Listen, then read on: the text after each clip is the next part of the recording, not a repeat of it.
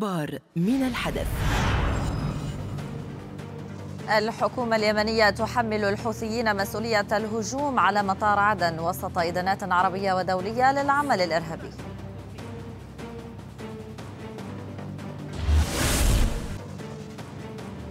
القيادة المركزية الوسطى تعلن عن ثالث مهمة لقاذفات بي 52 وتؤكد أنها رسالة لكل من يهدد أمريكا ومصالحها. غوتيريش يدعو مجلس الأمن لتشكيل لجنة مراقبين دوليين من مدنيين وعسكريين متقاعدين لدعم الهدنة في ليبيا.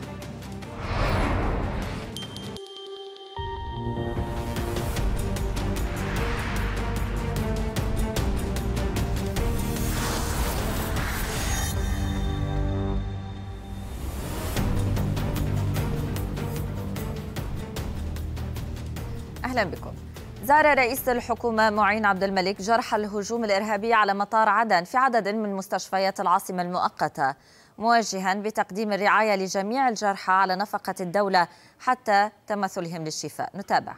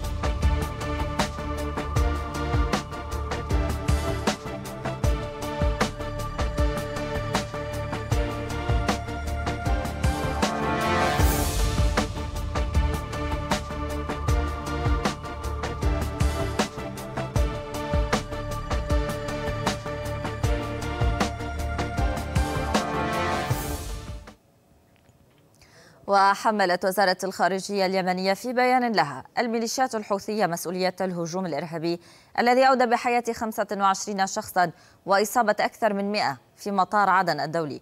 الخارجية اليمنية قالت بأن الدلائل تشير إلى أن الميليشيات الحوثية هي الجهة التي استهدفت حكومة الكفاءات السياسية أثناء وصولها إلى مطار عدن الدولي وأن الحوثيون استهدفوا المطار بأربعة صواريخ باليستية. كما أشار البيان إلى أن تقنيات الاستهداف تتشابه مع ذات التقنيات التي استخدمها الحوثيون في جرائم سابقة. هذا وقالت الوزارة على أن الميليشيات الحوثية استهدفت مقر الحكومة في قصر المعاشيق عبر الطائرات المسيرة. إضافة إلى أنه الميليشيات الحوثية هي المستفيدة الأكبر من مثل هذه من مثل هذه العملية. لكن آه، التاريخ التاريخ الإرهابي للحركة الحوثية يعني هي الجماعة الوحيدة التي آه، يعني طيلة الفترة الماضية استمرت ضرب المنشآت المدنية سواء في مارب في تعز في الضالع في أكثر في أكثر من منطقة. التاريخ الإرهابي للحركة هو ما جعل الجميع يوجه أصابع الاتهام لهذه الحركات. الآن معظم الدلائل يعني نعم. المتوفره لدينا نتيجة التحقيقات الأولية أيضا تؤكد يعني ما ذهبنا ما ذهبت ما ذهبت الاتهامات إليه من اتجاه الحركة الحوثية وهناك يعني معلومات قد لا يحق لي الآن أن أكشف عنها يعني تشير بوضوح وتؤكد هذه الفرضية أن ميليشيات الحوثي هي من تقف وراء هذا الهجوم. أصيبت المتحدثة باسم الصليب الأحمر في اليمن يارا خواجة جراء انفجار مطار عدن حيث تصادف وجودها أثناء استعدادها لمغادرة البلاد. وقال الصليب الأحمر في اليمن إن اثنين من أعضائها قتلا في التفجير بمطار عدن فيما لا يزال مصير آخر مجهولا. وتصادف وجود فريق من الصليب الأحمر في المطار مع مدنيين آخرين أثناء عبورهم. توالت الإدانات العربية والدولية للهجوم الإرهابي الذي تعرض له مطار مدينة عدن اليمنية تزامنا مع وصول الطائرة التي تحمل أعضاء الحكومة الجديدة. المبعوث الأممي إلى اليمن مارتن جريفيث أدان بشدة الهجوم وأكد على أن هذا العمل العنيف وغير المقبول يذكر بأهمية عودة اليمن بشكل عاجل لطريق السلام. وأدانت السفارة الأمريكية في اليمن بشدة الهجوم مشيرة إلى أن واشنطن تدعم الحكومة اليمنية الجديدة وتقف مع الشعب اليمني في سعيه من أجل السلام. الخارجية الروسية قالت بأن موسكو تدين بشدة الهجوم على مطار عدن وتدعو إلى إجراء تحقيق شامل في هذه الجريمة. بدورها أدانت وزارة الخارجية الفرنسية الاعتداء على مطار عدن مؤكدة دعمها للحكومة اليمنية الجديدة. الاتحاد الأوروبي وصف في بيان له استهداف المطار بالعنف غير المقبول والذي يأتي في لحظة حاسمة من تطبيق اتفاق الرياض نحو حل سياسي شامل. أما المملكة العربية السعودية فأدانت بأشد وأقسى العبارات العمل الإرهابي في عدن وصفة إياه بالجبان. وأضافت السعودية أن العمل الغادر الذي تقف خلفه من أسمتهم بقوى الشر ليس موجها ضد الحكومة اليمنية الشرعية فحسب بل للشعب اليمني بكامل أطيافه ومكوناته السياسية. استهداف الإرهاب الجبان آه، يشدد من عزم اليمنيون وعزم الحكومة اليمنية وعزم التحالف ثلاثة المملكة العربية السعودية على دعم الشرعية وعلى دعم الشعب اليمني ليستعيد دولته ويستعيد مؤسساته ويقدم تقدم حكومة بلاده الخدمات لشعبها لتحقيق الأمن والاستقرار والسلام للشعب اليمني.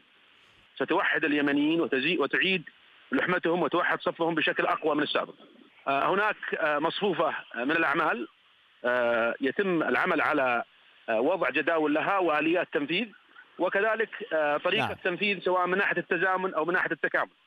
مستمرين في دعم الحكومة اليمنية نعم. سواء قبل قبل قيام ميليشيات الحوثية لإحتلال العاصمه صنعاء أو بعد احتلالها أو في الوقت الراهن أو حتى في المستقبل.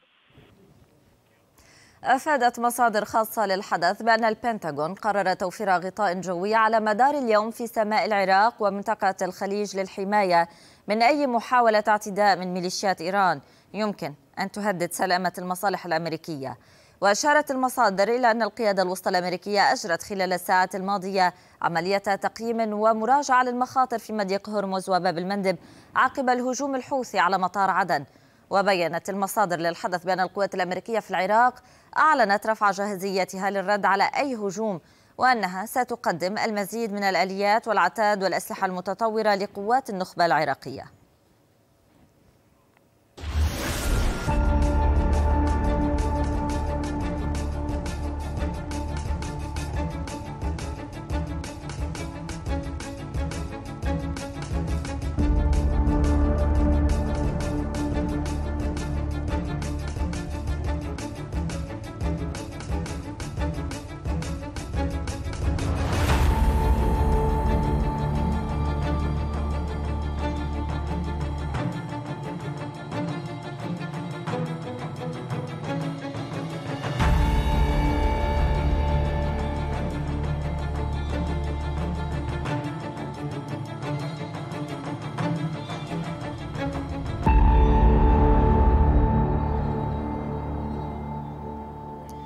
نشر ناشطون مقاطع فيديو لعراقيين غاضبين أحرقوا صور قائد فيلق القدس قاسم سليماني ونائب قائد قوات الحشد الشعبي أبو مهدي المهندس.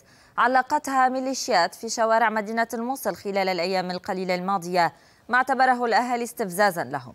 وأفاد مصدر أمني في قيادة شرطة نينوى بأن ميليشيات الحشد الشعبي شنت حملة مداهمة وتفتيش في عموم مناطق الموصل بحثا عن مجهولين أحرقوا الصور وأسفرت هذه المداهمات بحسب المصدر عن اعتقال ثلاثة أشخاص في منطقة الإصلاح الزراعي.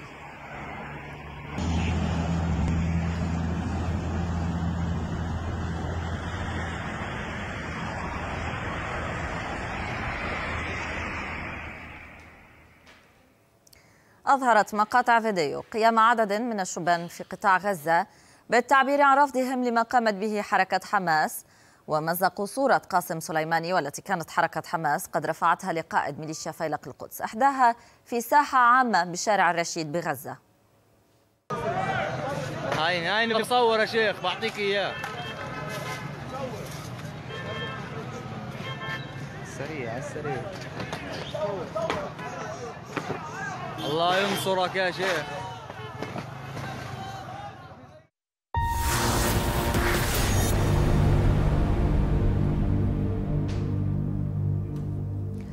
قالت الممثلة الخاصة للأمين العام للأمم المتحدة بالإنابة في ليبيا ستيفاني ويليامز أن العد العكسي للانتخابات بدأ في 21 من ديسمبر مع خطة زمنية واضحة بحسب خارطة الطريق التي اعتمدت في تونس.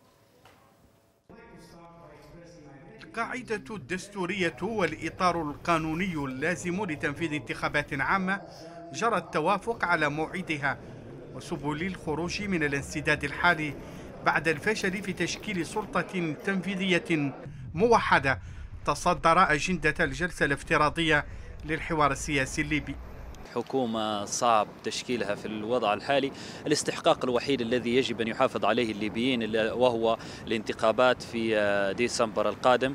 وفيما تسعى بعثة الأمم المتحدة للمضي قدما في تنفيذ خارطة الطريق للانتخابات يخشى الليبيون أن تخفق اللجنة القانونية في تقديم مقترحات مقبولة بشأن القاعدة الدستورية لتنظيم الانتخابات مثلما فشل أعضاء لجنة الحوار السياسي في تشكيل حكومة وحدة لجنتا الشؤون العسكرية والاقتصادية حققتا بعض التقدم من اتفاق لوقف إطلاق النار واستئناف إنتاج النفط إلى توحيد الميزانية وسعر صرف الدينار. بيد أن التحركات العسكرية التركية خلال الأيام الماضية عكست في رأي ناشطين من غرب ليبيا إصرار حكومة أردوغان على عرقلة تنفيذ بقية بنود التهدئة الهشة ومن أبرزها خروج القوات الأجنبية والمرتزقة. التحركات التركية تعطل الحوار وتحاول إجهاضها لأنهم يريدون استمرار المنظومة اللي تم التوقيع معها على اتفاقات لأن مش في صالحهم استقرار السياسي في ليبيا. التدخل العسكري التركي بهذا الشكل يعرقل الجهود الأممية لإنهاء الانقسام المؤسسي والمناطق في ليبيا وتشكيل سلطة تنفيذية موحدة تنتقل إليها السلطة من حكومتين متنافستين.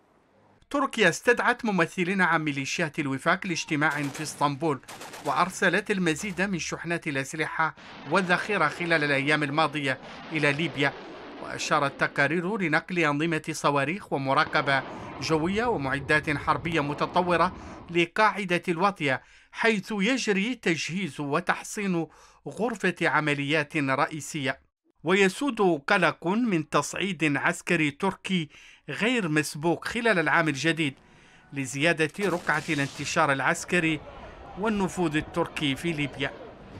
خليل ولد جدود الحدث تونس.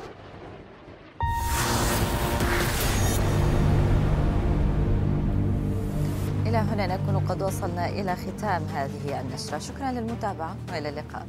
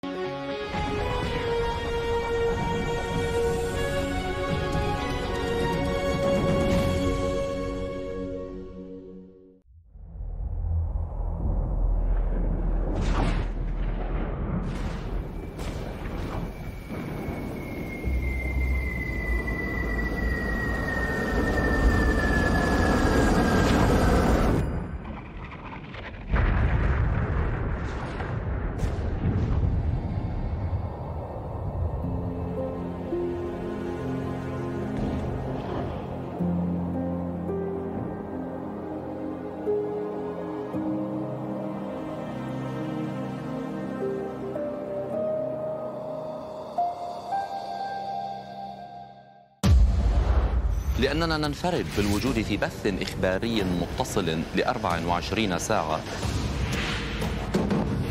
لأننا نستطيع أن نطرح الأسئلة الأدق للحصول على إجابات أكثر دقة. أصبحنا الحدث.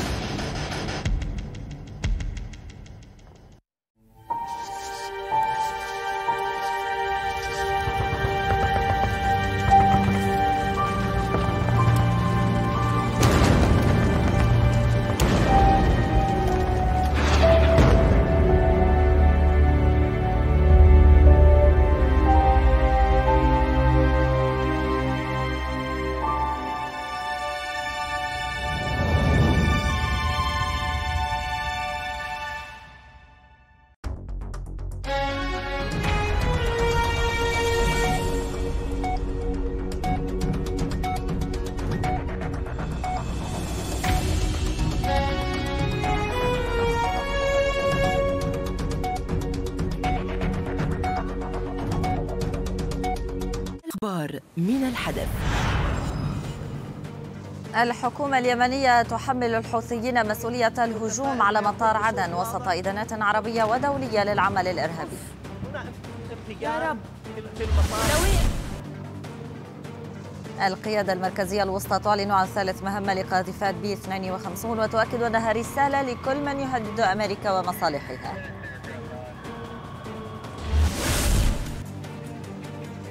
غوتيريش. يدعو مجلس الأمن لتشكيل لجنة مراقبين دوليين من مدنيين وعسكريين متقاعدين لدعم الهدنة في ليبيا.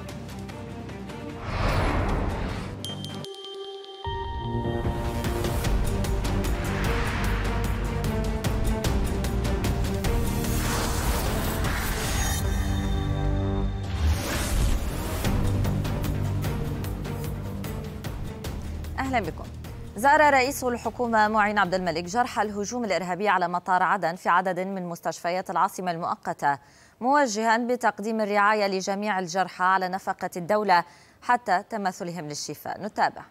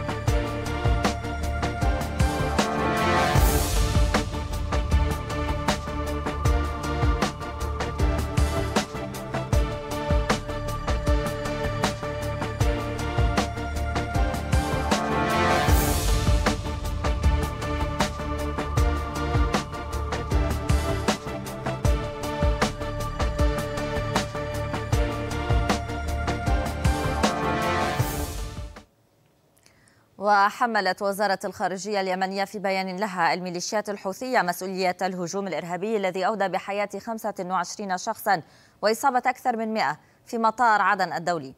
الخارجية اليمنية قالت بأن الدلائل تشير إلى أن الميليشيات الحوثية هي الجهة التي استهدفت حكومة الكفاءات السياسية أثناء وصولها إلى مطار عدن الدولي وأن الحوثيون استهدفوا المطار بأربعة صواريخ باليستية. كما أشار البيان إلى أن تقنيات الاستهداف تتشابه مع ذات التقنيات التي استخدمها الحوثيون في جرائم سابقة. هذا وقالت الوزارة أن الميليشيات الحوثية استهدفت مقر الحكومة في قصر المعاشيق عبر الطائرات المسيرة.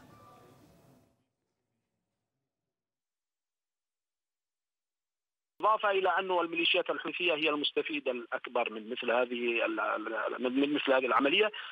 لكن التاريخ التاريخ الإرهابي للحركة الحوثية يعني هي الجماعة الوحيدة التي يعني طيلة الفترة الماضية استمرت ضرب المنشآت المدنية سواء في مارب في تعز في الضالع في أكثر في أكثر من منطقة التاريخ الإرهابي للحركة هو ما جعل الجميع يوجه أصابع الاتهام لهذه الحركات الآن معظم الدلائل يعني نعم. المتوفرة لدينا نتيجة التحقيقات الأولية أيضا تؤكد يعني ما ذهبنا ما ذهبت ما ذهبت الاتهامات إليه من اتجاه الحركة الحوثية.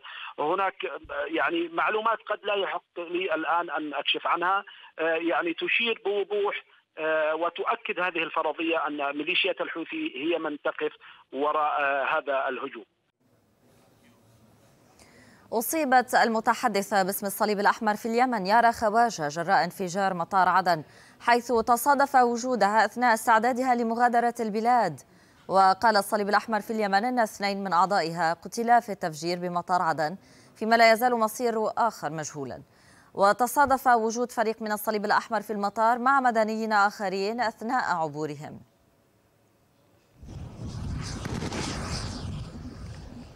توالت الإدانات العربية والدولية للهجوم الإرهابي الذي تعرض له مطار مدينة عدن اليمنية تزامنا مع وصول الطائرة التي تحمل أعضاء الحكومة الجديدة.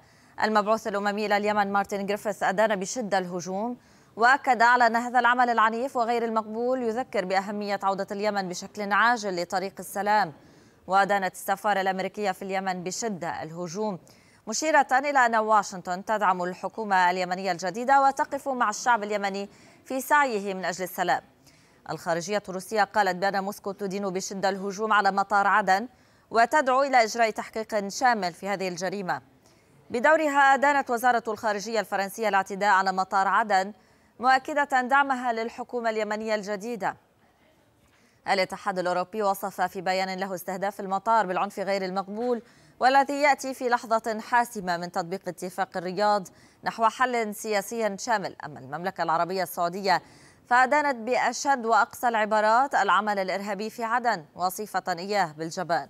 وأضافت السعودية أن العمل الغادر الذي تقف خلفه من أسمتهم بقوى الشر ليس موجها ضد الحكومة اليمنية الشرعية فحسب بل للشعب اليمني بكامل أطيافه ومكوناته السياسية. استهداف الإرهاب الجبان آه، يشدد من عزم اليمنيون وعزم الحكومة اليمنية وعزم التحالف وكالة المملكة العربية السعودية على دعم الشرعية وعلى دعم الشعب اليمني ليستعيد دولته ويستعيد مؤسساته ويقدم تقدم حكومة بلاده الخدمات لشعبها لتحقيق الأمن والاستقرار والسلام للشعب اليمني. ستوحد اليمنيين وتعيد لحمتهم وتوحد صفهم بشكل أقوى من السابق.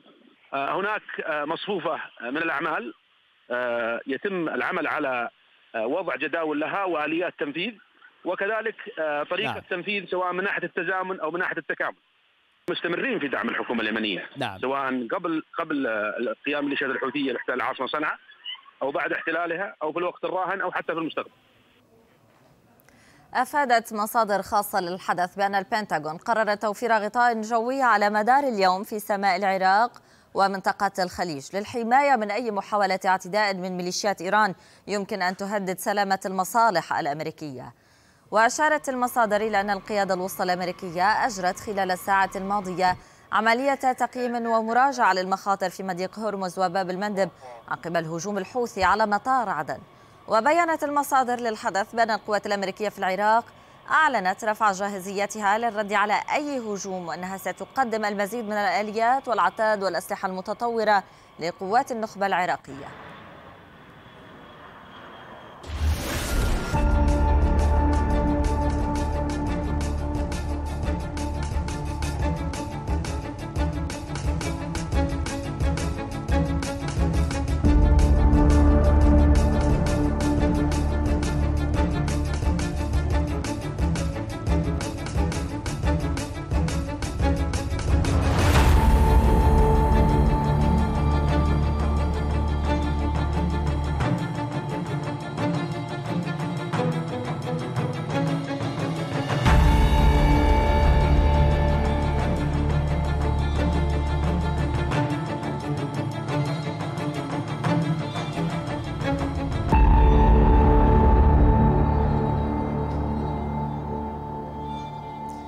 نشر ناشطون مقاطع فيديو لعراقيين غاضبين أحرقوا صور قائد فيلق القدس قاسم سليماني ونائب قائد قوة الحشد الشعبي أبو مهدي المهندس. علقتها ميليشيات في شوارع مدينة الموصل خلال الأيام القليلة الماضية ما اعتبره الأهالي استفزازا لهم. وأفاد مصدر أمني في قيادة شرطة نينوى بأن ميليشيات الحشد الشعبي شنت حملة مداهمة وتفتيش في عموم مناطق الموصل بحثا عن مجهولين. أحرقوا الصور. وأسفرت هذه المداهمات بحسب المصدر عن اعتقال ثلاثة أشخاص في منطقة الإصلاح الزراعي. أظهرت مقاطع فيديو قيام عدد من الشبان في قطاع غزة بالتعبير عن رفضهم لما قامت به حركة حماس إذ مزقوا صورة قاسم سليماني والتي كانت حركة حماس قد رفعتها لقائد فيلق ميليشيا فيلق القدس إحداها في ساحة عامة بشارع الرشيد في غزة. هاي هاي بصور يا شيخ بعطيك إياه. سريع سريع الله ينصرك يا شيخ. وافق الرئيس التونسي قيس سعيد على خطة الإنقاذ التي طرحها الاتحاد العام التونسي للشغل في انتظار انطلاق الحوار في الأسابيع المقبلة برعاية رئاسة الجمهورية.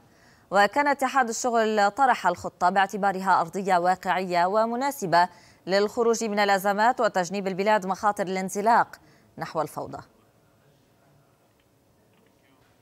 قالت الممثلة الخاصة للأمين العام للأمم المتحدة بالإنابة في ليبيا ستيفاني ويليامز إن العد العكسي للانتخابات بدأ في الواحد والعشرين من ديسمبر مع خطة زمنية واضحة بحسب خارطة الطريق التي اعتمدت في تونس. هو الإطار القانوني اللازم لتنفيذ انتخابات عامة جرى التوافق على موعدها وسبل الخروج من الانسداد الحالي بعد الفشل في تشكيل سلطة تنفيذية موحدة تصدر أجندة الجلسة الافتراضية للحوار السياسي الليبي. حكومة صعب تشكيلها في الوضع الحالي. الاستحقاق الوحيد الذي يجب أن يحافظ عليه الليبيين وهو الانتخابات في ديسمبر القادم.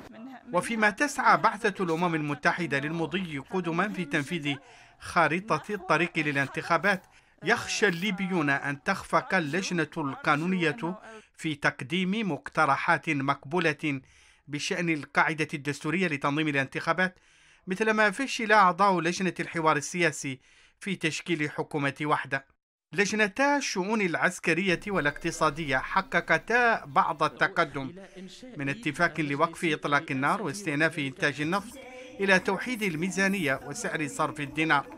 بيد أن التحركات العسكرية التركية خلال الأيام الماضية عكست في رأي ناشطين من غرب ليبيا إصرار حكومة أردوغان على عرقلة تنفيذ بقية بنود التهدئة الهشة ومن أبرزها خروج القوات الأجنبية والمرتزقة. التحركات التركية تعطل الحوار وتحاول إجهاضه لأنهم يريدون استمرار المنظومة اللي تم التوقيع معها على اتفاقات لأن مش بصالحهم استقرار السياسي في ليبيا. التدخل العسكري التركي بهذا الشكل يعرقل الجهود الأممية لإنهاء الانقسام المؤسسي والمناطق في ليبيا وتشكيل سلطة تنفيذية موحدة تنتقل إليها السلطة من حكومتين متنافستين. تركيا استدعت ممثلين عن ميليشيات الوفاق لاجتماع في اسطنبول وأرسلت المزيد من شحنات الأسلحة والذخيرة خلال الأيام الماضية إلى ليبيا وأشارت تقارير لنقل أنظمة صواريخ ومراقبة جوية ومعدات حربية متطورة لقاعدة الواطية حيث يجري تجهيز وتحصين غرفة عمليات رئيسية.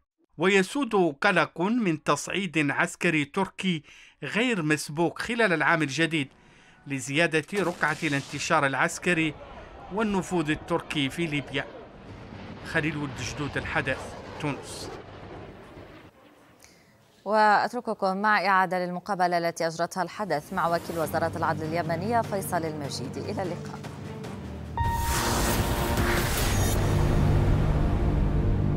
ينضم إلينا من القاهرة وكيل وزارة العدل اليمنية فيصل المجيدي. مساء الخير أستاذ فيصل وكل الأمنيات بالشفاء للجرحى والرحمة لكل ضحايا الهجوم الإرهابي. مباشرة من ملامح هذا الهجوم بالتأكيد هناك مجموعة من المؤشرات التي أعلن عنها بيان للوزارة ومنه استطاعت أن يعني تفصل كيف استدلت على أن الحوثيين مسؤولين عن هذا الهجوم؟ لو وضعتنا في صورة هذه المؤشرات. مساء الخير لك والمشاهدين الكرام وأشكر لك مشاعرك النبيلة تجاه حقيقة شهدائنا الأبرار الذين نسأل الله سبحانه وتعالى لهم الرحمة ونرجو الشفاء العاجل للجرحى. هذا اليوم حقيقة يوم كئيب بالنسبة لليمنيين. هو من الأيام السوداء التي صنعتها الميليشيا الانقلابية حسب المؤشرات الأولية حتى هذه اللحظة. بعد يوم الانقلاب 21 سبتمبر 2014 حقيقة يوم 30 ديسمبر سيظل محفورا في وجدان اليمنيين وسيكون له تأثير وسيكون له ما بعده. حقيقة المؤشرات الأولية التي استندت عليها وزارة الخارجية ومن ثم عبرت عنه الحكومة اليمنية استند إلى معلومات استخباراتية بأن ميليشيا الحوثي قامت بإطلاق هذه الصواريخ من تحديدا من مدينة من المناطق المسيطر عليها في مدينة تعز من من المطار حسب ما تحدث تحدثت هذه المعلومات. وبالتالي حصل هذا الانفجار. يبدو أن هذه الصواريخ في الأساس كانت موجهة تجاه الحكومة اليمنية بعد يعني على أساس أنها ستكون في صالة الضيافة. لكن تأخر نزول ربما الحكومة وتعجيل إطلاق هذا الصاروخ هو الذي جعله يخطئ هدفه فيما يتعلق باستهداف الحكومة بكافة تشكيلاتها. آه، هم يريدون حقيقة خلط الأوراق وبالتالي آه، ربما جعل البلد بدون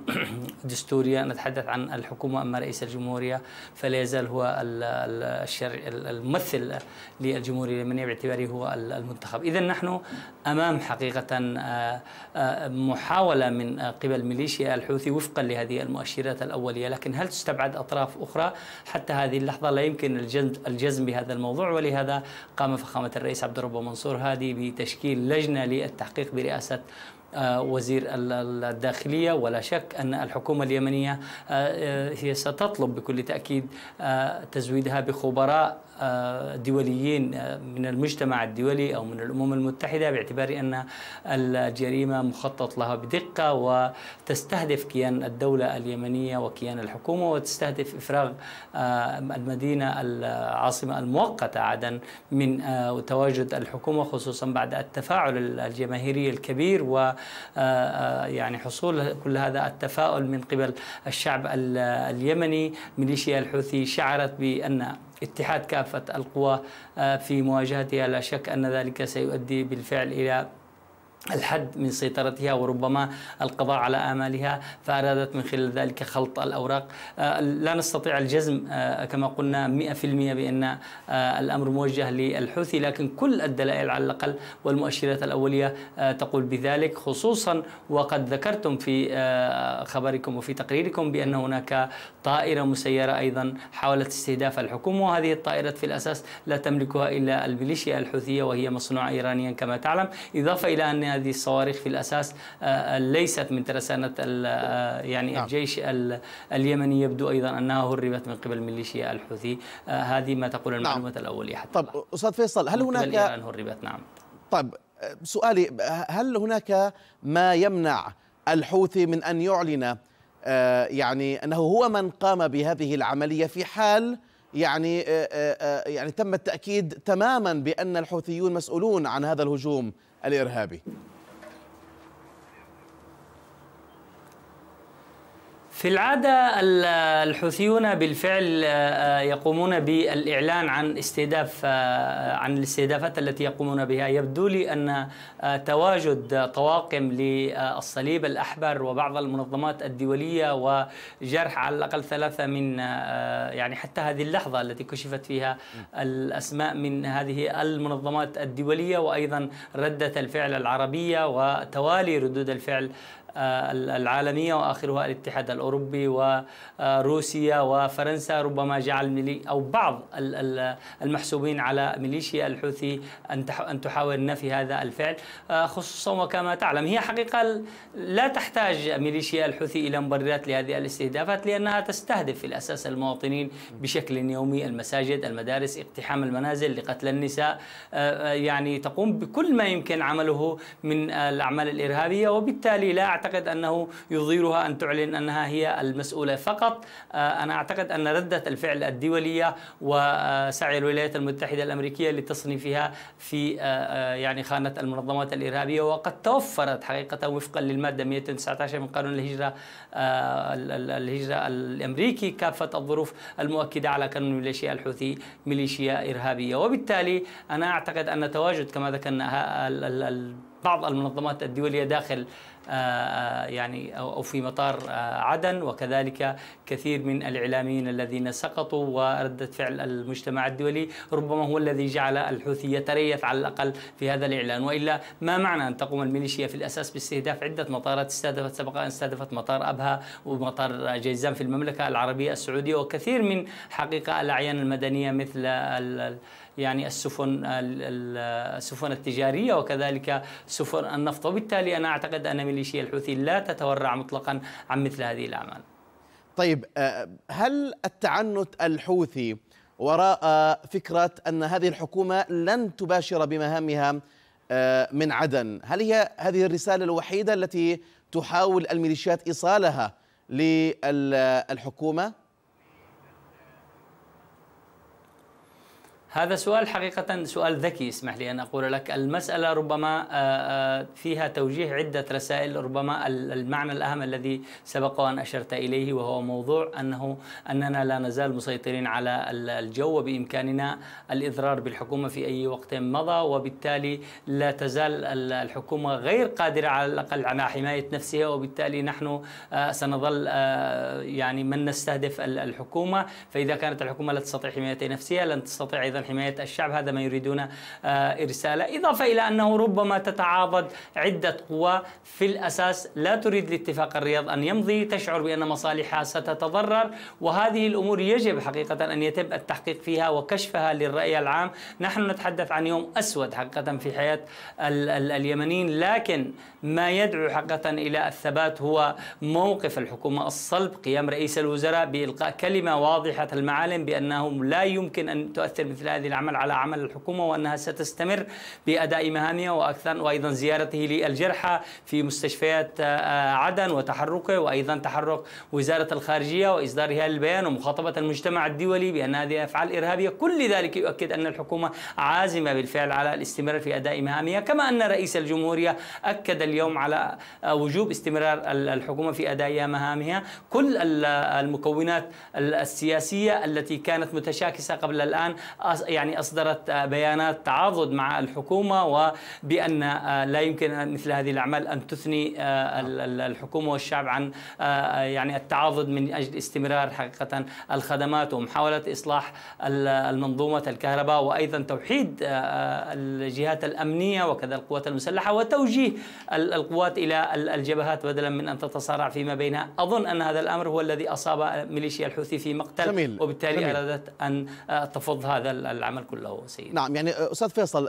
تصريحات الرئيس بيان الخارجية أيضا الكلمة التي ظهر بها كما ذكرت رئيس الحكومة بالتأكيد كلها يعني ترسل أفكار واضحة عن الموقف الواجب اتخاذه. لكن بعيدا عن هذا الخطاب القوي وأنا أقول إنه قوي لا بد أن تكون هناك مجموعة من الإجراءات التي تطمئن الشعب وتطمئن العمل الحكومي في سبيل ممارسة كل المهام من عدن. توافقني الرأي أستاذ فيصل.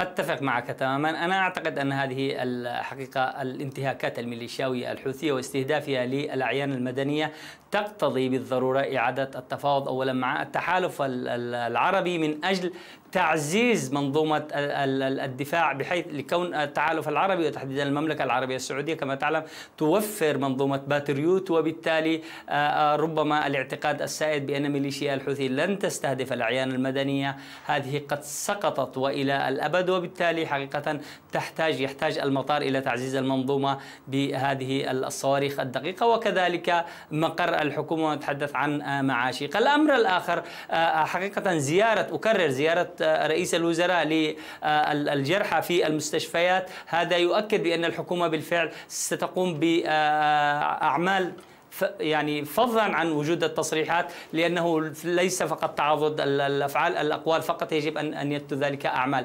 الأمر الأهم من كل ذلك هو السير حثيثا في سبيل استكمال تنفيذ التدابير الأمنية وتوحيد الأيادي حقيقه والجوانب وتوحيد الأجهزة الأمنية وجعلها تأتمر بأمر وزير الخارجية فقط دون تشعب الولاءات. وكذلك توحيد القوات المسلحة ودمجها تحت راية وزارة الدفاع. هنا أنا أعتقد أن الحكومة ستتفرغ وستكون هناك عدة مهام. المهام المدنية الخدماتية ما يتعلق بإعادة الخدمات وتطبيع الحياة وجوانب القضاء وكل هذه الأمور آه، أعتقد أن الحكومة المدنية هي التي ستقوم بها، الجوانب الأمنية ستتكفل بها آه، آه، وزارة الداخلية، ما يتعلق بالمنظومة العسكرية وتفعيل الجبهات وهي الأهم برأيي في هذه المرحلة. إضافة إلى ما ذكرنا ستتكفل بها القوات المسلحة وبالتالي هذا الأمر هو الذي يزعج ميليشيا الحوثي والقوى التي ربما ترى ان مصالحها مهددة، هذا الأمر هو الذي يجعل الميليشيا الحوثي في حالة ارتباك كبير وبالتالي هي على استعداد لارتكاب كل الجرائم في سبيل ألا يتم حقيقة عمل مثل هذا الأمر والتقدم بشأنه. نحن يعني رأينا في الأيام القليلة الماضية أن هناك تعاف كبير للدولار للريال أمام الدولار والعملات الأخرى وبالتالي هذا التعافي ربما صدم ميليشيا الحوثي يكاد الريال اليمني يعود إلى ما كانت عليه حالته قبل الأزمة الأخيرة المفتعلة. إذا نحن بالفعل أمام مفترق طرق نحن نعم. أمام تأريخ يؤكد بأن الحكومة ستكون صامدة ولن تقبل مثل هذه الابتزازات مطلقا. وبالتالي أستاذ فيصل كيف كل هذه التطورات سوف تنعكس على تنفيذ مسار اتفاق الرياض؟ هل الحكومة اليوم قادرة بالفعل على ممارسة مهامها من عدن في ظل كل هذه الرسائل التي تحاول ميليشيا الحوثي أن ترسلها؟ ليس فقط للحكومة إنما أيضا للمواطن اليمني وأيضا لحلفائها في المنطقة وأيضا للمجتمع الدولي.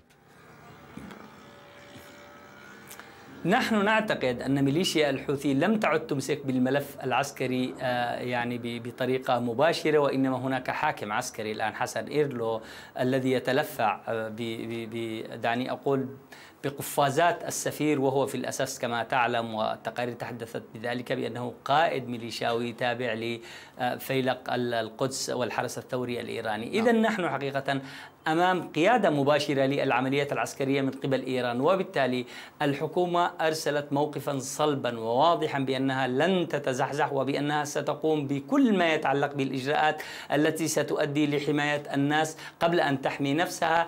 أنا أقول لك بأن الرسالة الواضحة للشعب اليمني من خلال صمود الحكومة واستمرارها بمزاوله مهامها والرسائل التي وصلت من رئيس الجمهورية وأيضا رئيس الحكومة والخارجية اليمنية الإسلامية مؤكدة في هذا الطريق بأنه لا يمكن أن تتزحزح الحكومة وستبدأ بممارسة إجرائها ثم أن هناك حقيقة تفاعل يبدو لي دولي وهناك العديد من السفارات الدولية صرحت في الأيام القليلة الماضية بأنها ستعود إلى مدينة عدن وأنا أعتقد بأنها في طريقها لذلك وهو ما أسقط كما قلنا في أيدي الحوثيين وبالتالي يريدون إرسال رسائل بأن هذا الأمر لا يمكن تطبيقه. لأن تعلم تعلم ميليشيا الحوثي بأن الاستقرار الحكومة في مدينة عدن وإعادة إعادة توفير الحياة فيها وتطبيع الخدمات ومن ثم جعل المدن المحررة يعني تعطي رسالة بأن هناك تنمية وإعادة إعمار هذا الأمر سيسقط أيضا في يد الميليشيا الحوثي وسيجعل الشعب ينظر نعم. بنظرة تفاؤلية لما يحصل في المناطق المحررة وبالتالي تعتقد ميليشيا الحوثي بأن الشعب اليمني قد يسقطها وقد تتهاتر ميليشيا الحوثي من داخلها لأن كثير من الناس بكل تأكيد يرون في هذا النموذج نعم. الذي سيتم تحت قيادة الحكومة نموذج احتذى به. نعم إذا من القاهرة وكيل وزارة العدل اليمنية فيصل المجيدي شكرا جزيلا لك وكان الله في عونكم.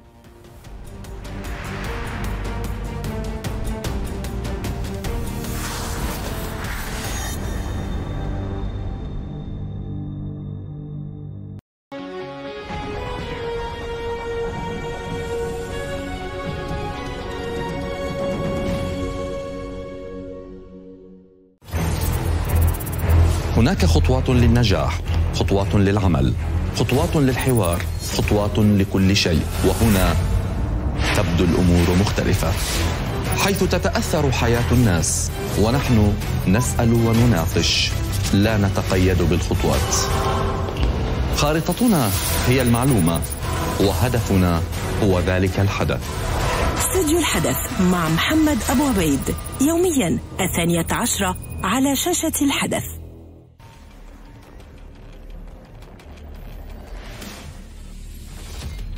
البداية كانت حدثا هو الأضخم في العقود الأخيرة. الانطلاقة كانت حدثا هو الأسرع في تاريخ شبكات الأخبار العربية. كيف أصبحنا الحدث؟ ببساطة كنا هناك. أيا كان الحدث أينما كان وقتما كان. كنا فعليا هناك على الأرض في موقع. لأننا قادرون على المتابعة والتغطية الحية والفورية على مدار الساعة. لأننا ننفرد بالوجود في بث إخباري متصل ل 24 ساعة. لأننا نطرح الأسئلة الأدق للحصول على إجابات أكثر دقة. أصبحنا الحدث.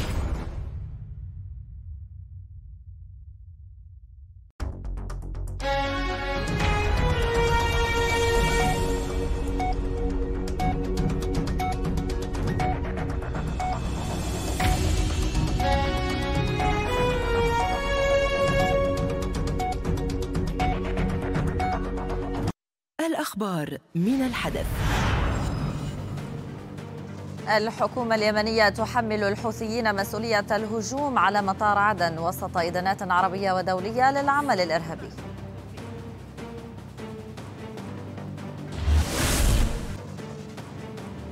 القيادة المركزية الوسطى تعلن عن ثالث مهمة لقاذفات بي 52 وتؤكد أنها رسالة لكل من يهدد أمريكا ومصالحها. غوتيريش يدعو مجلس الأمن لتشكيل لجنة مراقبين دوليين من مدنيين وعسكريين متقاعدين لدعم الهدنة في ليبيا.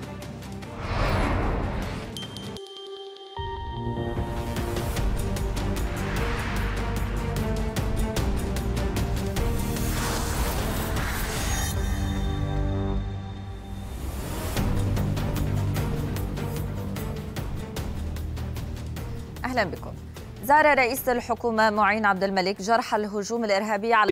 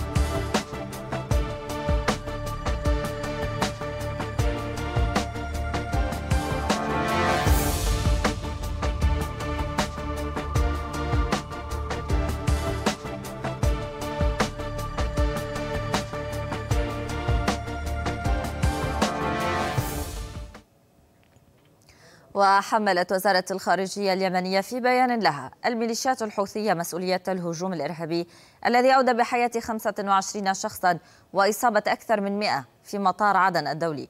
الخارجية اليمنية قالت بأن الدلائل تشير إلى أن الميليشيات الحوثية هي الجهة التي استهدفت حكومة الكفاءات السياسية أثناء وصولها إلى مطار عدن الدولي وأن الحوثيون استهدفوا المطار بأربعة صواريخ باليستية. كما أشار البيان إلى أن تقنيات الاستهداف تتشابه مع ذات التقنيات التي استخدمها الحوثيون في جرائم سابقة. هذا وقالت الوزارة على أن الميليشيات الحوثية استهدفت مقر الحكومة في قصر المعاشيق عبر الطائرات المسيرة. إضافة إلى أنه الميليشيات الحوثية هي المستفيدة الأكبر من مثل هذه من مثل هذه العملية. لكن آه، التاريخ التاريخ الإرهابي للحركة الحوثية يعني هي الجماعة الوحيدة التي آه، يعني طيلة الفترة الماضية استمرت ضرب المنشآت المدنية سواء في مارب في تعز في الضالع في أكثر في أكثر من منطقة. التاريخ الإرهابي للحركة هو ما جعل الجميع يوجه أصابع الاتهام لهذه الحركات. الآن معظم الدلائل يعني نعم. المتوفرة لدينا نتيجة التحقيقات الأولية أيضا تؤكد يعني ما ذهبنا ما ذهبت ما ذهبت الاتهامات إليه من اتجاه الحركة الحوثية وهناك يعني معلومات قد لا يحق لي الآن أن أكشف عنها يعني تشير بوضوح وتؤكد هذه الفرضية أن ميليشيا الحوثي هي من تقف وراء هذا الهجوم أصيبت المتحدثة باسم الصليب الأحمر في اليمن يارا خواجة جراء انفجار مطار عدن حيث تصادف وجودها أثناء استعدادها لمغادرة البلاد. وقال الصليب الأحمر في اليمن إن اثنين من أعضائها قتلا في التفجير بمطار عدن فيما لا يزال مصير آخر مجهولا. وتصادف وجود فريق من الصليب الأحمر في المطار مع مدنيين آخرين أثناء عبورهم. توالت الإدانات العربية والدولية للهجوم الإرهابي الذي تعرض له مطار مدينة عدن اليمنية تزامنا مع وصول الطائرة التي تحمل أعضاء الحكومة الجديدة. المبعوث الأممي إلى اليمن مارتن جريفيث أدان بشدة الهجوم وأكد على أن هذا العمل العنيف وغير المقبول يذكر بأهمية عودة اليمن بشكل عاجل لطريق السلام. وأدانت السفارة الأمريكية في اليمن بشدة الهجوم مشيرة إلى أن واشنطن تدعم الحكومة اليمنية الجديدة وتقف مع الشعب اليمني في سعيه من أجل السلام. الخارجية الروسية قالت بأن موسكو تدين بشدة الهجوم على مطار عدن وتدعو إلى إجراء تحقيق شامل في هذه الجريمة. بدورها أدانت وزارة الخارجية الفرنسية الاعتداء على مطار عدن مؤكدة دعمها للحكومة اليمنية الجديدة. الاتحاد الأوروبي وصف في بيان له استهداف المطار بالعنف غير المقبول والذي يأتي في لحظة حاسمة من تطبيق اتفاق الرياض نحو حل سياسي شامل. أما المملكة العربية السعودية فأدانت بأشد وأقسى العبارات العمل الإرهابي في عدن واصفة إياه بالجبان. وأضافت السعودية أن العمل الغادر الذي تقف خلفه من أسمتهم بقوى الشر ليس موجها ضد الحكومة اليمنية الشرعية فحسب بل للشعب اليمني بكامل أطيافه ومكوناته السياسية. استهداف الإرهاب الجبان آه، يشدد من عزم اليمنيون وعزم الحكومة اليمنية وعزم التحالف ثلاثة المملكة العربية السعودية على دعم الشرعية وعلى دعم الشعب اليمني ليستعيد دولته ويستعيد مؤسساته ويقدم تقدم حكومة بلاده الخدمات لشعبها لتحقيق الأمن والاستقرار والسلام للشعب اليمني. ستوحد اليمنيين وتعيد لحمتهم وتوحد صفهم بشكل أقوى من السابق آه، هناك آه، مصفوفة من الأعمال آه، يتم العمل على وضع جداول لها وآليات تنفيذ وكذلك طريقة نعم. تنفيذ سواء من ناحية التزامن أو من ناحية التكامل. مستمرين في دعم الحكومة اليمنية نعم. سواء قبل قبل قيام الميليشيات الحوثية لاحتلال العاصمة صنعاء أو بعد احتلالها أو في الوقت الراهن أو حتى في المستقبل. أفادت مصادر خاصة للحدث بأن البنتاغون قرر توفير غطاء جوي على مدار اليوم في سماء العراق ومنطقة الخليج للحماية من أي محاولة اعتداء من ميليشيات إيران. يمكن أن تهدد سلامة المصالح الأمريكية. وأشارت المصادر إلى أن القيادة الوسطى الأمريكية أجرت خلال الساعات الماضية عملية تقييم ومراجعة للمخاطر في مضيق هرمز وباب المندب عقب الهجوم الحوثي على مطار عدن. وبينت المصادر للحدث بأن القوات الأمريكية في العراق أعلنت رفع جاهزيتها للرد على أي هجوم وأنها ستقدم المزيد من الآليات والعتاد والأسلحة المتطورة لقوات النخبة العراقية.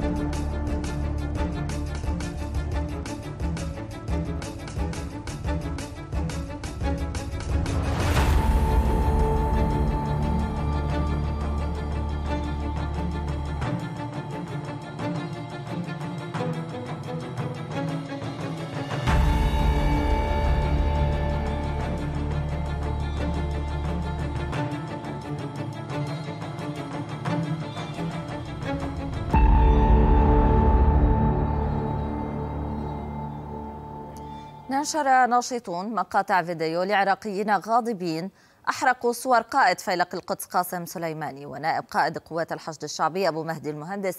علقتها ميليشيات في شوارع مدينة الموصل خلال الأيام القليلة الماضية ما اعتبره الأهالي استفزازا لهم. وأفاد مصدر أمني في قيادة شرطة نينوى بأن ميليشيات الحشد الشعبي شنت حملة مداهمة وتفتيش في عموم مناطق الموصل بحثا عن مجهولين أحرقوا الصور وأسفرت هذه المداهمات بحسب المصدر عن اعتقال ثلاثة أشخاص في منطقة الإصلاح الزراعي.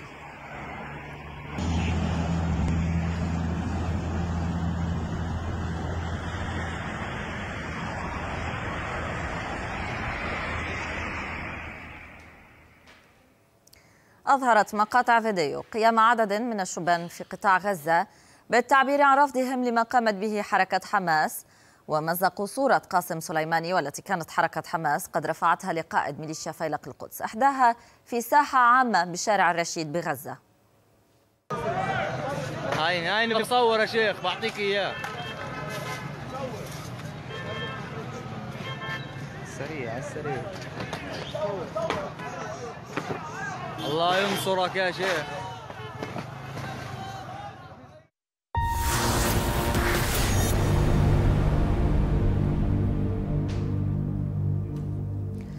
قالت الممثلة الخاصة للأمين العام للأمم المتحدة بالإنابة في ليبيا ستيفاني ويليامز إن العد العكسي للانتخابات بدأ في ال 21 من ديسمبر مع خطة زمنية واضحة بحسب خارطة الطريق التي اعتمدت في تونس. القاعدة الدستورية والإطار القانوني اللازم لتنفيذ انتخابات عامة جرى التوافق على موعدها وسبل الخروج من الانسداد الحالي بعد الفشل في تشكيل سلطة تنفيذية موحدة تصدر أجندة الجلسة الافتراضية للحوار السياسي الليبي. حكومة صعب تشكيلها في الوضع الحالي. الاستحقاق الوحيد الذي يجب أن يحافظ عليه الليبيين وهو الانتخابات في ديسمبر القادم. وفيما تسعى بعثة الأمم المتحدة للمضي قدما في تنفيذ خارطة الطريق للانتخابات يخشى الليبيون أن تخفق اللجنة القانونية في تقديم مقترحات مقبولة بشأن القاعدة الدستورية لتنظيم الانتخابات مثلما فشل أعضاء لجنة الحوار السياسي في تشكيل حكومة وحدة لجنتا الشؤون العسكرية والاقتصادية حققتا بعض التقدم من اتفاق لوقف إطلاق النار واستئناف إنتاج النفط إلى توحيد الميزانية وسعر صرف الدينار. بيد أن التحركات العسكرية التركية خلال الأيام الماضية عكست في رأي ناشطين من غرب ليبيا إصرار حكومة أردوغان على عرقلة تنفيذ بقية بنود التهدئة الهشة ومن أبرزها خروج القوات الأجنبية والمرتزقة. التحركات التركية تعطل الحوار وتحاول إجهاضه لأنهم يريدون استمرار المنظومة اللي تم التوقيع معها على اتفاقات لأن مش في صالحهم استقرار السياسي في ليبيا. التدخل العسكري التركي بهذا الشكل يعرقل الجهود الأممية لإنهاء الانقسام المؤسسي والمناطق في ليبيا وتشكيل سلطة تنفيذية موحدة تنتقل إليها السلطة من حكومتين متنافستين.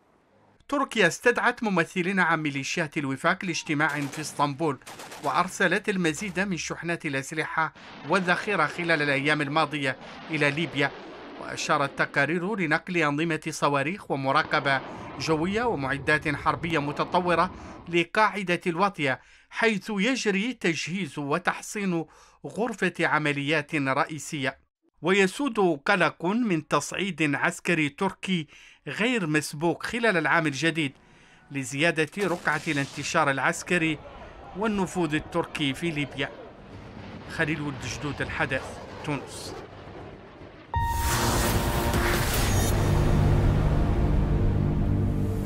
إلى هنا نكون قد وصلنا إلى ختام هذه النشرة. شكرا للمتابعة وإلى اللقاء.